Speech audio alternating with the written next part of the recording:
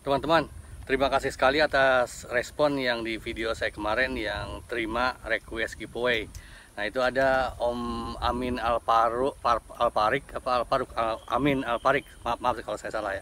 Ini eh, katanya minta frame yang 2 inci atau 3 inci gitu Om ya. Ini ada Om. Ini kebetulan baru Om Amin.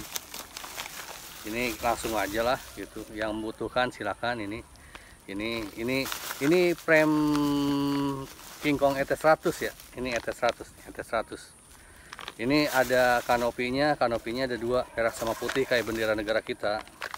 Kemudian ada ininya juga propeller guardnya. Jadi kalau main main deket orang itu bagus pakai propeller guard kayak gini. Ini empat lengkap ya saya masukin di sini. Empat nih empat lengkap saya masukin di sini masukin nanti kalau udah ngerakit jadinya kayak gini Om Amin. Kayak tingkong itu 100 saya. Kan ada teman juga katanya coba uh, freestyle pakai micin Om. Iya sini saya bawa udah saya cas baterai saya. Kemudian kemarin juga Om Lili Om Lili di Subang kalau nggak salah. Subang minta kaos katanya. Oke ini saya udah siapin kaos. Mau kaos yang mana Om Lili? Mau yang yang dokter drone yang cintailah produk-produk Indonesia kayak gini? Kayak gini ini.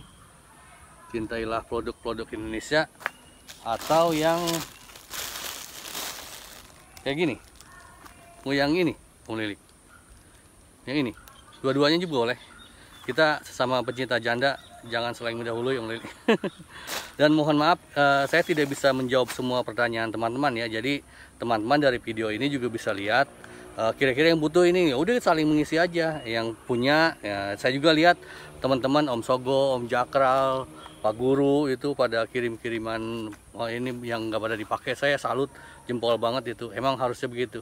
Kemarin juga Om Diko bilang katanya lagi di karantina Om. Tapi saya ngobrol sama Om Ping eh tante Mbak Ping Panda katanya oh, Om Diko Pak Diko baik-baik aja. Ya seneng gitu. Kita semua mendoakan semua kita sehat gitu. Karena teman-teman saya juga pada sakit banyak yang sakit gitu. Jadi hanya dengan kita enjoy terus olahraga, mudah-mudahan kita bisa melalui ini. Kemudian uh, Om Diko juga nanya kemarin ke saya, udah lihat yang aneh-aneh belum Om? Gitu. Kalau saya emang secara pribadi nggak suka yang aneh-aneh. Saya saya orang biasa Om Diko, saya senangnya yang biasa-biasa aja.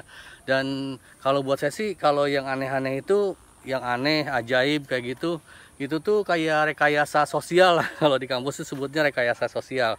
Rekayasa sosial itu begini. Saya kan udah ceritakan bahwa uh, kemarin teman-teman juga pada cerita bahwa emang kondisi Indonesia itu beda gitu.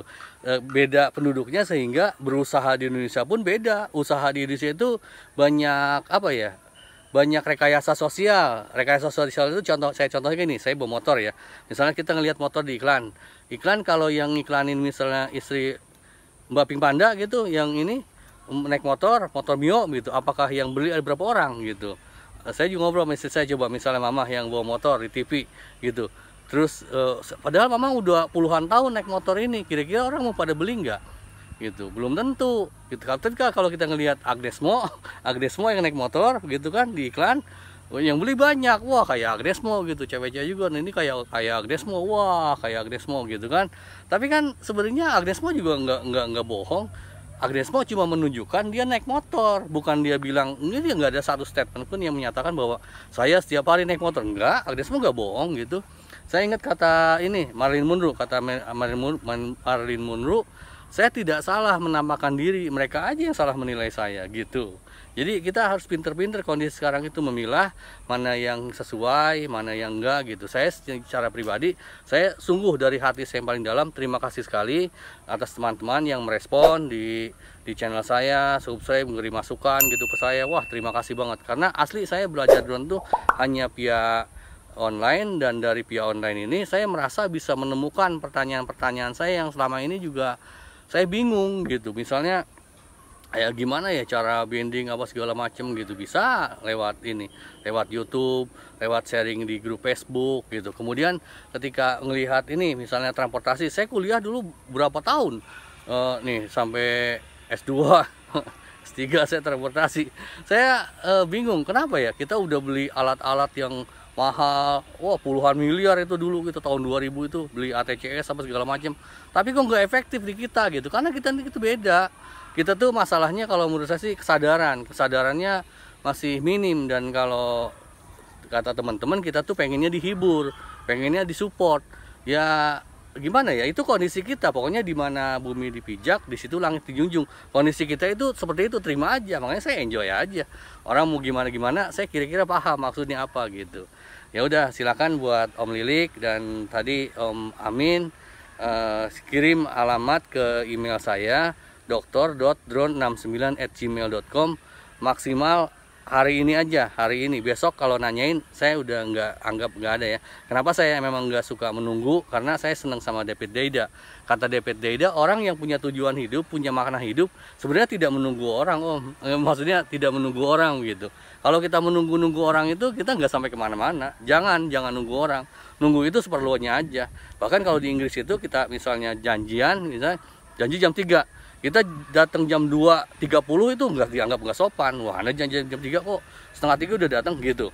Nah datang duluan aja nggak sopan apalagi telat. Kita kan misalnya janjian jam 3 datang jam 6 wah itu sangat tidak sopan kalau di mereka. Kalau di kita ya budaya nggak apa-apa ya silakan aja gitu. Saya juga misalnya orang janjian apa jam 2 ya saya toleransi sampai jam 4 sampai jam 4 nggak datang juga ya bukan salah saya. Masa salah saya? Saya, saya disalahin orang saya udah datang kok gitu kan ya udah pokoknya teman teman tetap jaga kesehatan jaga kondisi eh, dalam kondisi sulit ini mudah-mudahan kita dengan saling membantu saling backup itu bisa melalui gitu. Terima kasih dan sekali lagi Azam